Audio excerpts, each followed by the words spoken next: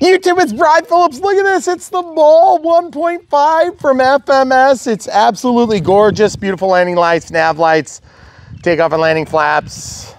And look at that pilot. He looks super happy. Detailed scale, clear canopy with the simulated glass. Loving it, guys. Okay, so that was just takeoff flaps, by the way.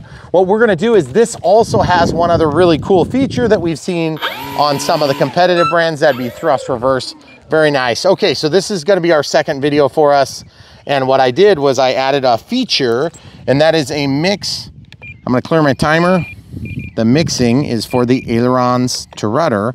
I tied it on my flaps, five and 20%. Okay, so with full landing flaps, we have a 20% aileron to rudder tie or mix, and then we have a 5% on takeoff flaps. And then of course, with no flaps, there is no mix. So let's go ahead and without further ado, get this thing lined up and go ahead and do some taking off. Here we go, here we go. So on the outside hole now for both the elevator and rudder. And as you can see in the slower flight performance, that mix really does help. I mean, I'm already doing it with my thumb, but just look how much more controlled that is. Also, I balanced the prop with some tape off camera. The camera crew had a doctor appointment this morning, and so I was out here being a good supportive husband and playing with my toys. So look at the stall turn now. So much better, guys, into the full landing flaps on the way out absolutely gorgeous flight performance now. I feel like it is more manageable and it doesn't sneak up on you. I also made about a six or seven degree turn or bend in the rudder linkage to help clear up a little bit of a bind. I actually tried going to the inner second hole from the inside first and I thought, this is really crappy. I thought it was gonna improve the flight performance, but it actually made it a lot worse. So here we are, guys. Outside hole, maximum throw authority on the rudder, maximum throw authority on the elevator. And it's been glorious, 50% throttle. Let's show you the climb on 50 at 4S. Just amazing full landing flaps here.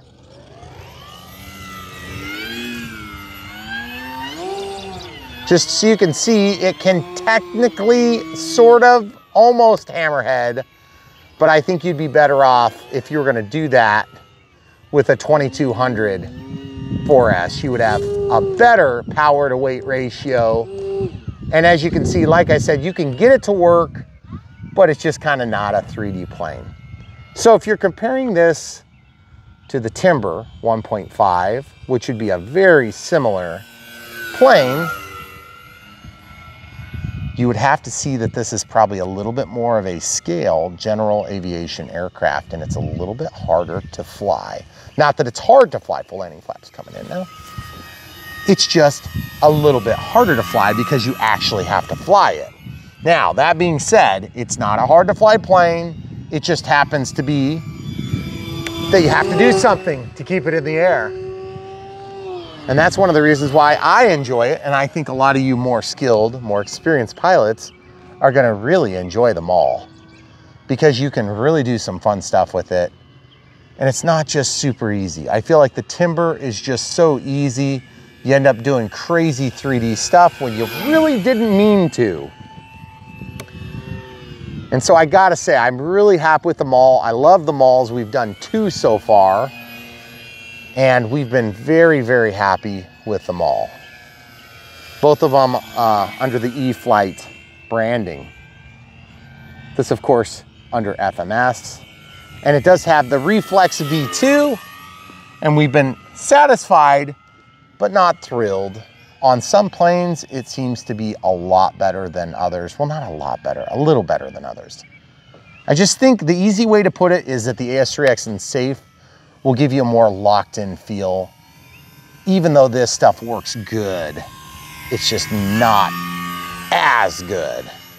Maybe a 5 10% difference. It's not a huge difference. And if you're dollars to donuts, you may find that the reflex is plenty good for the cost ratio. Cost to benefit ratio might be slightly better on it because then you can get away with a 620 like we used on this. Also, we did tape in our rear hatch, which is on the bottom, and that hatch gives you access to where the receiver sits. Now, I'm not sure if you guys can tell, but this windsock is pointed straight out. I'm gonna just bring this plane right in, kind of next to it. You see what I'm talking about? We are flying straight into the wind right here. Look at this. About 30% throttle here. Whoa. This thing will get dipped if you let it. Okay, to take off flaps. We are seeing about eight and a half, nine minutes to low voltage sort of issues. But we get power the whole way through the roll. Man, that's so weird. You get into certain spots with this plane and it just doesn't like to roll.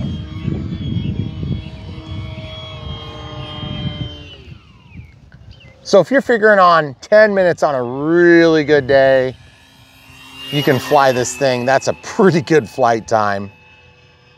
But that being said, I don't think you're gonna get that on 2200. We've been flying on 3200 4S.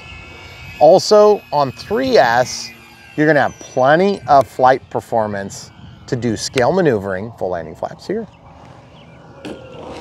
But just keep in mind, you have thrust reverse and you can slow that thing down on a dime if you want to. Now out of the thrust reverse, let's show a little grass off before we kill the battery. Full up elevator. Do not be afraid of full up elevator. It's your friend. In fact, I have to go get that. Okay, full up elevator. What I was saying is don't be afraid of getting into it hard on grass because it will tip over on the nose. So just be prepared for it. The rock hard tires are great in the grass. They are not so great on the pavement. What I'm gonna do is I'll show you guys a real short landing on our runway. Nope, right there. I'm gonna come in behind us between the house. Camera crew, you good? Mm -hmm. Okay, full landing flaps deployed. We're gonna try to hit just on the runway here, right in front of us. So you can land in less than you can take off. Okay, full landing flaps deployed, full up elevator, forward thrust. Let's do a STOL takeoff. There you go, guys. That thing gets up quick. And you can ride that high alpha all the way up to the moon if you wanted. It's just amazing. Okay, out of the takeoff flaps, excuse me, into the takeoff flaps from the landing. And now we're just in normal flight mode.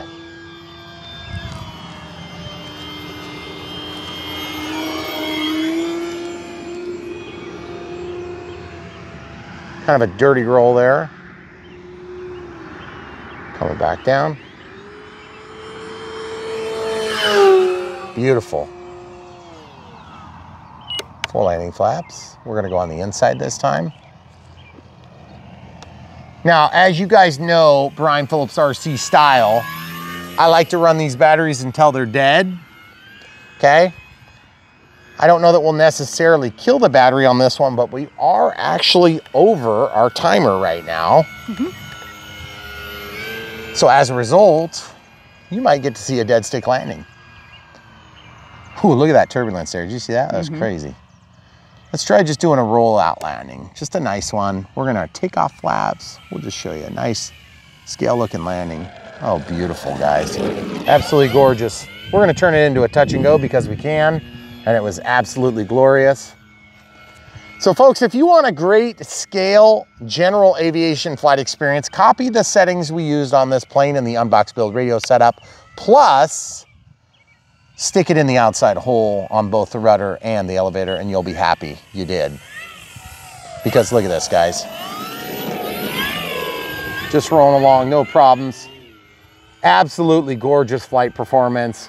You'll really like them all. It is a great, one-of-a-kind looking, amazing general aircraft, general aviation aircraft.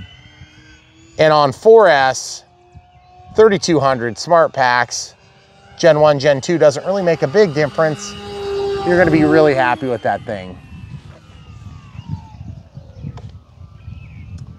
Down the runway. So folks, if you like to support Brian Phillips RC and all the things that we do, All you have to do is look no further than the video description, buy the planes, batteries, receivers, transmitters, and things that we review, and you'll be helping to support us both financially from contributions of the companies that we do work with to bring these videos to you, but also by helping us to build clout with these different companies so that you can rest assured if we bring sales, they're going to want to send us more equipment to show off. And that's the way this whole RC ecosystem works in our regard. And so we're really happy that you guys are helping to put us in a position to be able to do that. We love bringing these videos to you. The camera crew and I work really hard to do it. We've been making a lot of upgrades with our equipment and namely our internet most recently. And uh, we're trying to be able to deliver reviews, long format, and do it quicker between and more of them. And one of the best ways you can help us is just buy these amazing aircraft when you see something you like. Not when you see something you don't like. We never want you to do that. Let's do a grass ops landing here. We'll come in kind of right at our feet if we can do this right. Okay. Okay, ride that elevator, ride that elevator, ride that elevator, get past, ride that elevator, ride that elevator. There it is, guys, right at our feet. No thrust reverse needed at all. Throttle cuts on. We're at four minutes and nine, past our timer at six and a half. A little bit of blah, blah, blah time in there as you know it. Let's go ahead and show you one more thing. Let's just go ahead and keep flying right now. But I love taking off over this little berm. It's like one of my favorite places to take off on the property. I like going over here and just kind of rolling into it. Get that tail wheel up and then just jump off the edge. Let's go over there, camera crew. So for those of you that didn't already know, that's good right there. We're gonna be at Joe Nall. Joe Nall in South Carolina. So we're excited to see you there. If you guys are gonna come visit us, please do, that'd be awesome. We're looking forward to meeting some of you in person that have been watching for years, or maybe even meeting some new folks. supposed to be a lot of people at this event, so we're excited to be a part of it. After all, we know that at the end of this camera, there's some real people, us, and at the end of the at the end of the videos, there's you watching. And we love that you're part of it. Little hop, skip, and jump down the front yard there.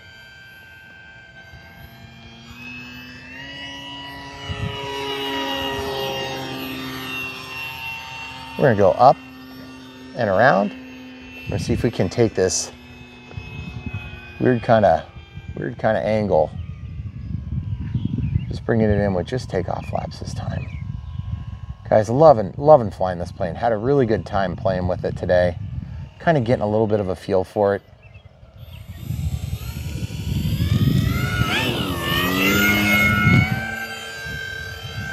So if you guys love general aviation, you will love this plane. You should buy one.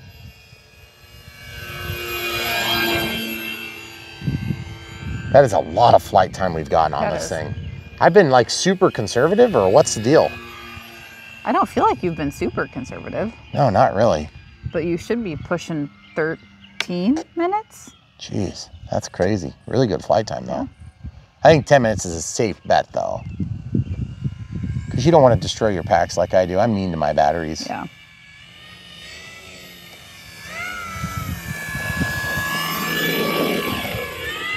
When they're that greasy, I can't resist the touch and go. I'm sorry, guys. I'm waiting for a terrible landing to take it. right.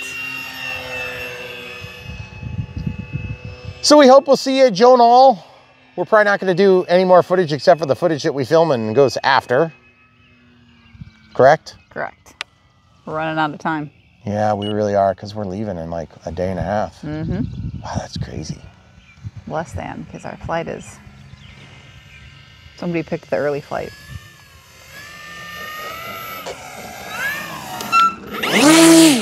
Stop it right where you want it. I love that about thrust reverse. Okay, guys, we're seven minutes 18 plus six minutes and 30. I don't think we had a lot of time, but we were paused when I walked over there because I got stuck in a rut. Yeah, you did. So we probably did lose about a minute or so. So 12 minutes on this one, and I would assume it's pretty much spent. I have the. You have the S, you have the XBC battery checker. pocket, yep. Let's go ahead and check it out.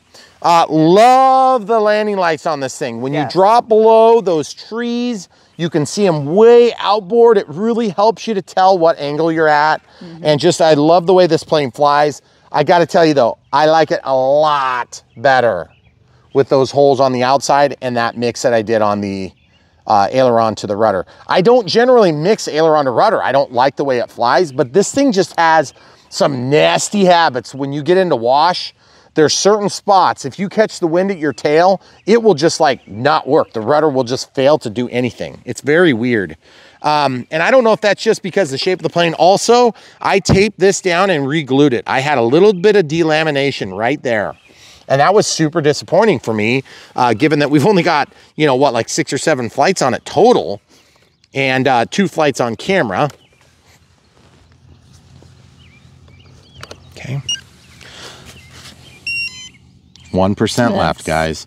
Pretty dead. Talk about using it up. so there you have it. And I just feel like this plane is a total winner. My only issue with this plane is it definitely takes a little bit more skill to fly than your timber.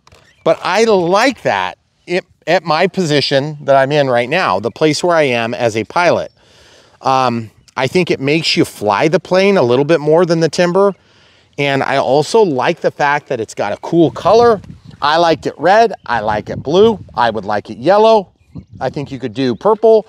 You could do green. You could do all sorts of different colors. But I really do like it in the blue. I like it in the red, especially. Um, but the blue looks good on this sky. Sometimes with blue, you get blue that really blends into the skies.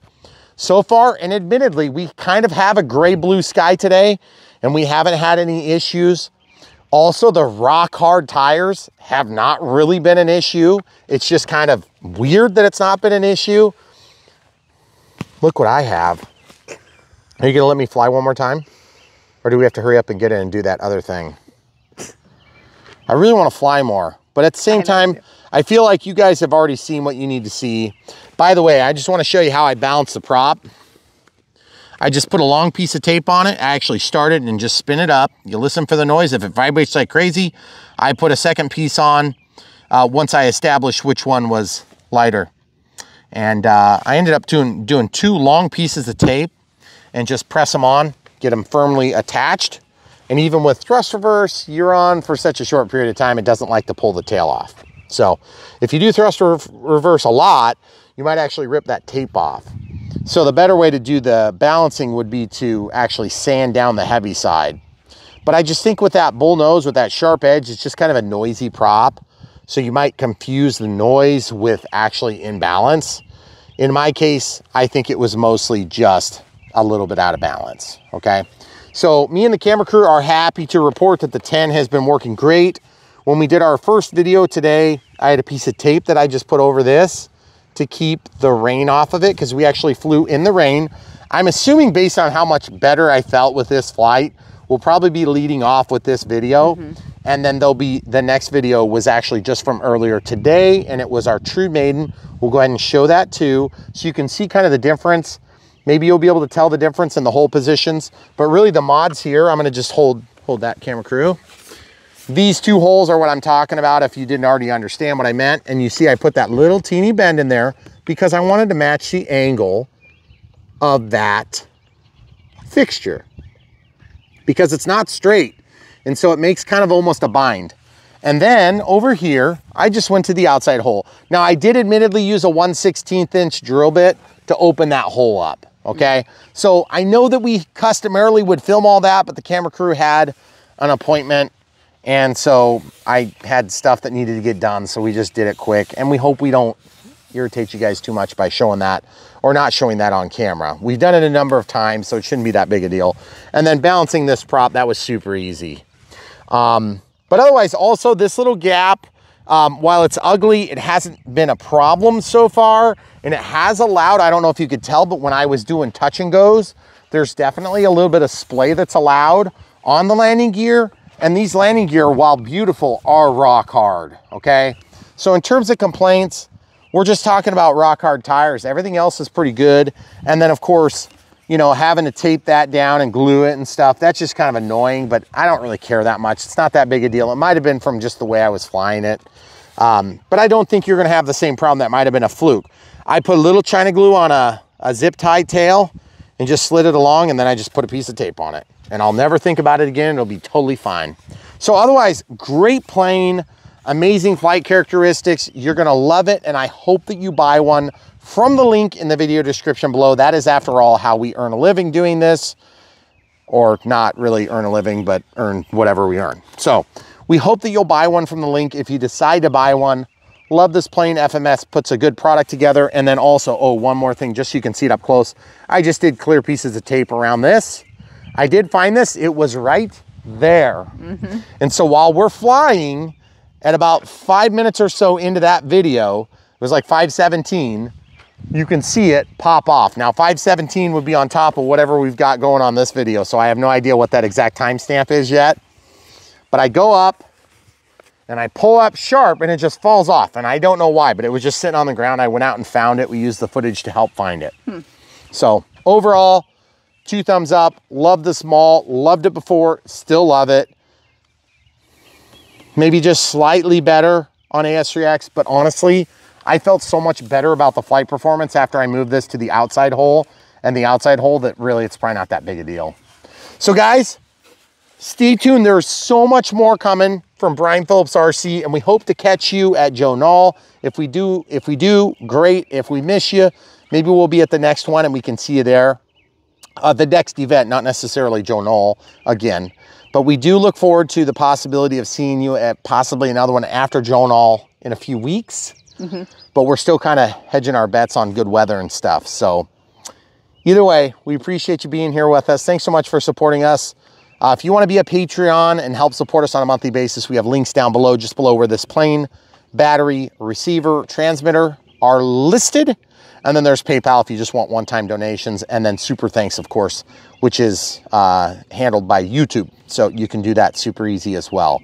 But either way, we still think the best way is to just get a plane if you love them and that will help support you, support us, and support the manufacturers that help keep us doing this.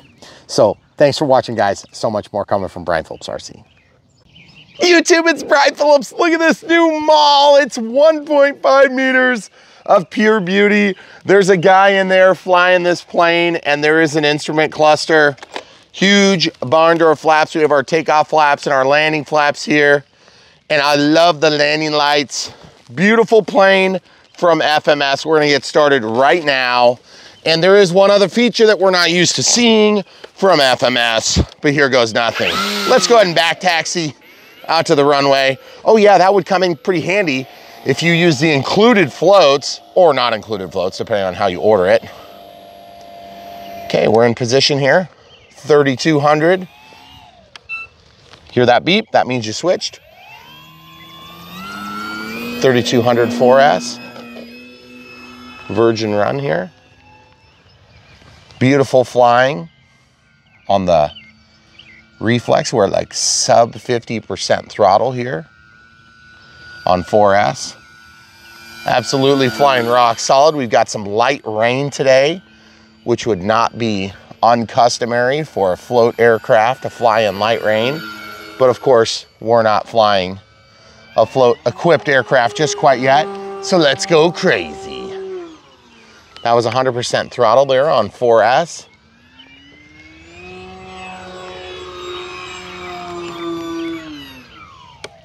Full flaps on the way around. Two second deployment. We've got this light rain hitting us. And I'm just gonna tell you something. If you guys ever decide to get them all, it is a super fun flying plane. It reminds me a lot of the Timber in its flight characteristics, but it is definitely a little bit more challenging to fly. So if you're a brand new pilot, you might wanna think about holding off for a couple of planes on the Maule. You got to give it some power. But I love the way this one flies. Okay, full landing flaps. Got that balloon tamed nicely. Boy, that looks so good coming at us, doesn't it? Mm-hmm. Okay, so let's show you guys some slow flight here. I'm gonna try to get a path set up. We go by the runway, camera crew. Okay. Now, the last time I flew in the rain, a little bit more. Good job. Let's set up this final. It's not a final though. We're just gonna do a super basic looking grass ops. So, oh yeah. Oh yeah. Now this is a STOL plane too, if we didn't already mention. So a STOL plane, it stands for short takeoff or landing. So full landing flaps. Let's show you a short landing and then we'll show you a short takeoff. I kind of dragged it out for you on the, the first takeoff. Oh, and by the way, if you decide you don't like reflex and you want to get the more locked in feel of AS3X and safe, one wheel, that is awesome. Okay, getting back on the runway, the way good pilots do it. And then uh, I'm gonna go full throttle. We've got our landing flaps now, and I'm gonna go STOL for you. See those, those, that tail wheel is sitting on a 10 foot brake from the next crack, okay? So we'll just go ahead and try this. I'm gonna full up elevator, get into the throttle hard, and there she is, she's in the air, folks. That is crazy, probably a six to seven foot lift into takeoff flaps now. More ordinary, built up, scale looking takeoff coming, but we're gonna try for another gorgeous short field takeoff, excuse me, short field landing here. Try getting it right where we want it. Oh, on the one. yeah, with that thrust reverse, you can just jack it to a stop. Okay, we're gonna go to takeoff flaps and we're just gonna get lined up here. Yep, love having thrust reverse, folks. It just makes it so fun. Okay, the mains are on one of the 10 foot brakes. The next brake is there. Here we go. Full up elevator, full throttle. There it is. Oh yeah, before you even hit the 10. So we're probably six to seven feet. And that's at near full throttle on 4S. Okay, full landing flaps here, get a little extra lift. Now, one thing I gotta say is that thing is a dang looker. And that's where you're gonna get your value out of this plane compared to the Timber. Little contrary tie to keep that nose up and that high alpha attitude. But this thing just loves hanging out like that. 3200 4S fits barely, barely, but it does. And we are flying on a six and a half minute timer mostly going from memory on what we remember having, and we will test it out of the rain with our XBC battery checker when we're done, because this is a Gen 2 pack. Okay, and to take off flaps now, a little bit more throttle, about 70%. Let's go ahead and get you some faster passes, just to show you you can cruise along, get to your destination in Cabo San Lucas. That sounds fun. Oh, and by the way, it's not dead calm today. It's pretty Pretty calm though. And yes, we did lock the stabilizer on, okay? Now, one thing you're gonna notice about this compared to the Timber, and the reason I keep comparing it to the Timber is because I did in the unbox and I remember that's really a pretty good basis for comparison, to be honest, is that I just feel like, oh, I need a little bit of elevator trim too. I was just noticing on that pass, I was like really riding the elevator. Let's see if I can get that. I can kind of push down a little bit. Mm -hmm. Could be just the, oh, there's Wind. something sticking out the bottom. Something sticking out the bottom. Yeah, it might be the receiver. It looks like it's uh, trying to poop. Okay, let's, uh, we're in the wind right now. Let's just do a really slow pass. You wanna look for the poop? Oh, yep. we lost our hatch. That is definitely the receiver. Oh, that is hilarious. And yet would be so annoying. So annoying because I have no clue where it is. Nope. I didn't see it fall off at all. It's probably where I did one of my touch and goes. So what we'll do is we will look after we land. But we gotta land because we're getting a lot of drag and that drag is going to constitute a problem. So let's go ahead and put on the full landing flaps. Let's bring it down the runway and just take a nice, hopefully greasy landing. That was not greasy at all, and we're almost to our timer. So we're just gonna go ahead. We're gonna cut it around. And yes, I am babying it. So if you notice that that was a really I normally would have just janked it to the ground with thrust reverse. That's one thing you gotta watch for on this plane is if your guts start dangling out, you need to respond to it. Going right over that beautiful cherry that we're probably eventually gonna have to cut down. Let's just try grass ops. Here we go. Okay guys, throttle cuts on. Let's get out of the rain and we'll talk some more. Okay, so as you guys can see, the throttle cuts on. my receiver popped out. I did some amazing cable management in there. As you can see, you'll, you'll pick up on that in the unbox build radio setup. Now, couple things to consider. I'm pretty sure that we had that clipped, like 99% sure. Mm-hmm. And I remember we lost one of those on our last one.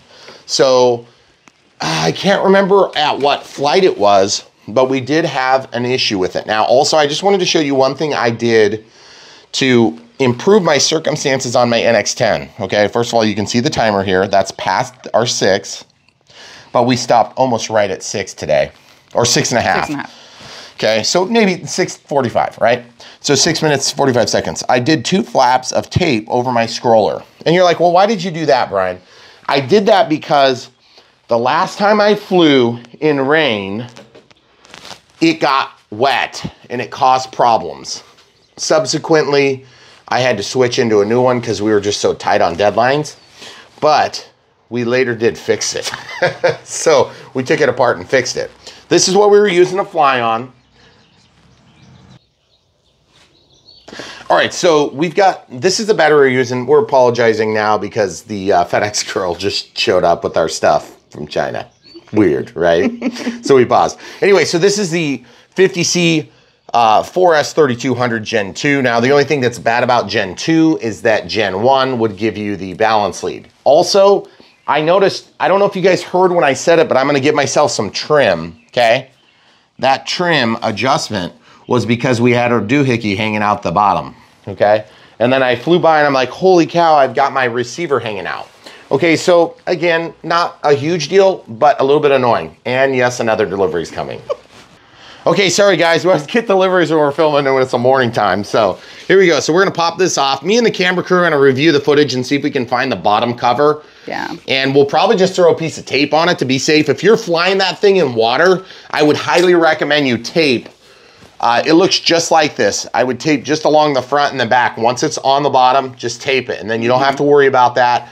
These things are easy to catch on things like grass. And it didn't even occur to me that that might get caught because you're going to be, it goes like this. So as the grass blades and stuff catch it, it could potentially pop that. Now it could also be flexing in the fuse, but I don't think that's what's going on here. Okay. These are improved from the last batch. Our red ones that we've done, these were really sloppy. They must have spent some extra care on getting these right. Although I do not like that release is so sharp compared to what we're used to having. So you have to be a little bit more careful. Let's check our voltage with the XBC battery checker, a tool that everybody should have if you're using smart gear. And we are at hmm. 3.8, 33% left, almost perfect, almost perfect. Trouble is, and this is the truth, guys, we could have flown for like another third.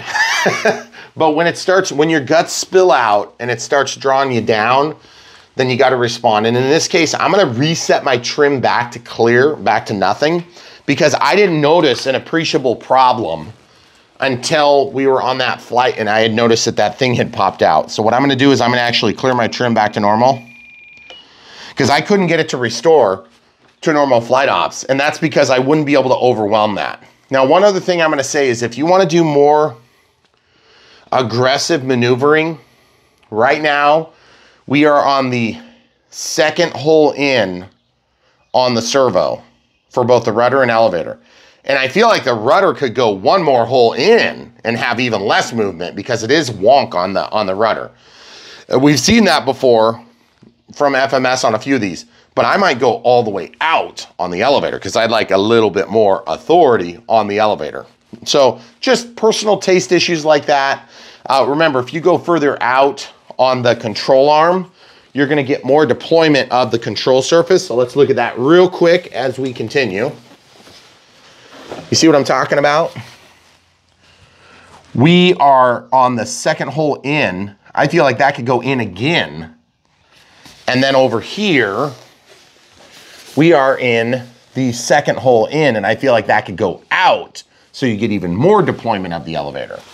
And I gotta say, this thing is gorgeous. It looks the part. So if you guys are thinking about getting a plane, and by the way, I gotta say, the hard, rock hard, um, diamond tipped blade is slightly softer than these tires. They worked pretty good out there. I was amazed. I was able to do one wheels on accident, but I'll take it still. So that means I can do it on purpose too. And something about our wind in the last few weeks, just a FYI, we're getting ready to go to Joe Nall. We're assuming you're gonna see this before we go to Joe Nall. And so we hope that we'll see you at Joe Nall. But if we don't, or if something comes up, then that's just the way it is. And we apologize for that. We don't mean to, you know, talk about things that you can't be involved with. But uh, if we see you at Joe Nall, we're gonna be excited. We want this video published in time, but we hate to put out product that isn't good enough. And our weather usually helps to dictate whether or not we can get good quality footage. And so we feel like a maiden in rain was okay, but a maiden in rain when we lose a cover may not make the cut. So anyway, not sure how this is gonna work, but we will keep you informed.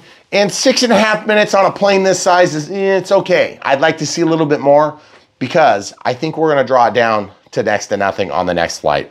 But stay tuned. So much more from Brian Phillips RC. If we don't have another flight, I'll be really surprised. But up against this tight deadline, we might do another revisit early on just to try to wet your whistle because this plane is really good. If you want to see the unbox build radio setup, it will be one minute before our maiden flights. And hopefully that will help you to understand how well this went together. And it did go together well. We had a little bit of trouble on the four screws, uh, which we've had.